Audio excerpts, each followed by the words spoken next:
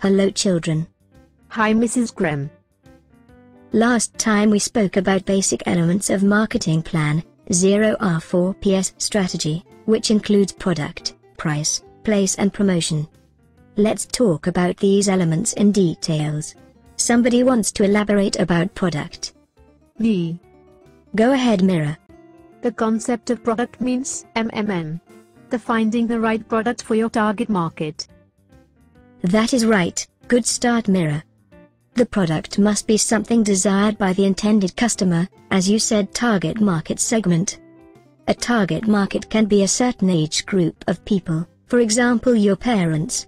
People of a certain geographic area, the Midwest or Southeast, for example.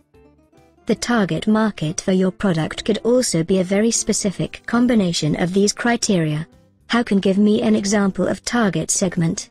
May I try? Yes sure, go ahead. Gain Producer's target market is children whose parents are young adults with an income more than $50,000 per year living in metropolitan areas. Great job Mira. You're right.